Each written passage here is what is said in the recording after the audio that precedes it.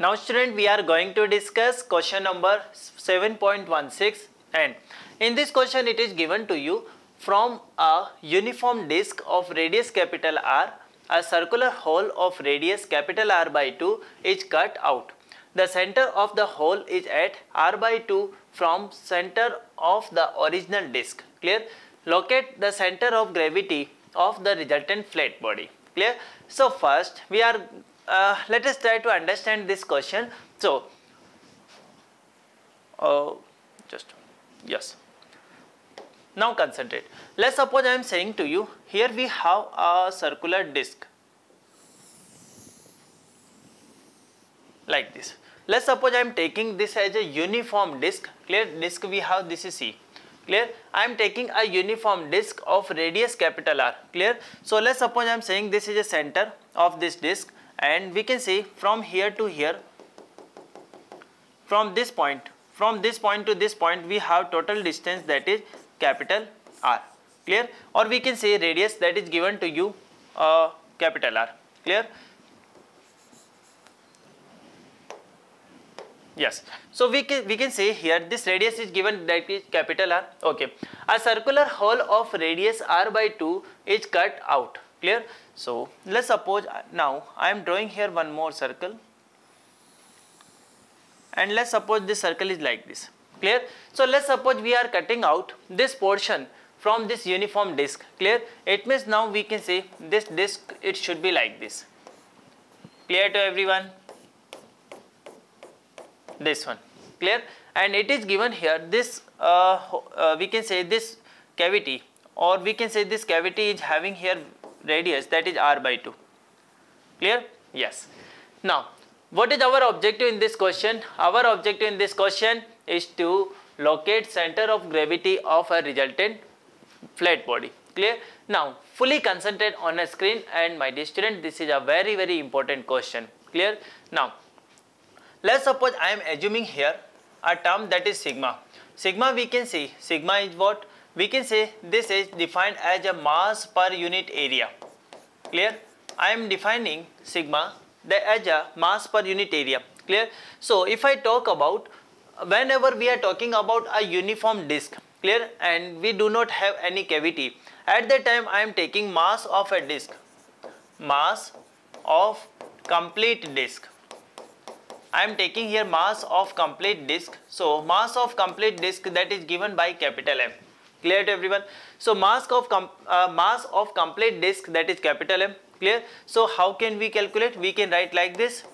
Capital M this is equal to sigma and what is area of this uniform disk? We have area that is pi r square. So I can say this is pi r square clear? Now if I write here what is mass of removed portion? What is mass of removed portion clear? So now we can say let's suppose I am assuming remote portion mass we have that is m dash and this is equal to we can say sigma clear? Pi. Now it is given in a question we are having a radius of this portion that is r by 2 so I can say this is pi r square by 4 clear? Or you can also write like this this is equal to capital M by 4 clear? So this is a mass of a remote portion clear now if we talk about center of mass, so whenever we are talking about uniform disk, so for uniform disk we have center at this point, clear? And I can say this is center of mass, I am assuming this as 0 comma 0, clear? And center of mass of a remote portion is this one, clear? This is the center of mass of a remote portion, clear? And I can say uh, coordinate are given that is r by 2 comma 0, clear? Now now our objective here in this question is to calculate uh, center of mass of a remaining portion clear. So let's suppose I am taking here this as my origin clear. I can say horizontal lines are uh, denoting x-axis and this one is denoting y-axis clear. So how can we calculate? Here we will apply this formula XCM. XCM we can write like this M1 X1. Now important part Actually because here we are removing some portion that's why we can write here m1 x1 minus m2 x2 divided by m1 minus m2. clear to everyone? Because we are removing here some portion that's why we can write XCM like this. Clear? Now if we talk about m1 m1 is equal to let's suppose i am taking only capital m. So capital f x1 I am taking 0 because uh, center of mass of this uniform disk we have at origin. Clear? And minus. I can say m2 m2 it is equal to m by 4 and value of x2 value of x2 we can say uh, coordinate we have r by 2 so I can say this is r by 2 clear? Divided by. Clear? Divided by.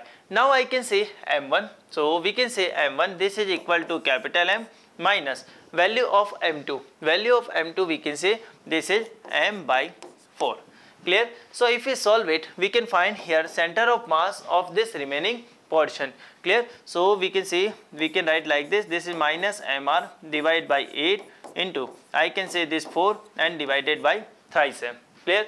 So we can say m and m this is cancelled out. This one is 2 so from here we can say we are getting center of mass of a remaining portion at a position minus r by 6. It means what is actual position of center of mass actually we are getting that position here clear and coordinates are given to you coordinates are given to you here minus r by 6 comma 0 clear to everyone so like this we can calculate position or, or we can say lo location, we can actually calculate position of a center of mass of a remaining portion. Clear? So this is all about this question. Clear?